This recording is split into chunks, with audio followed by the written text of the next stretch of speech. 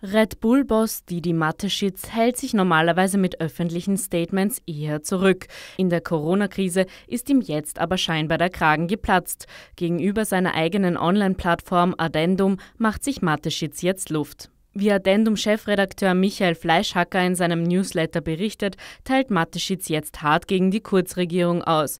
Angesichts der wirtschaftlichen Folgen des Corona-Shutdowns sagt er im Gespräch, mir kommt es so vor, als ob mir jemand ins Knie schießt, um mir dann einen Kredit für die Operationskosten anzubieten.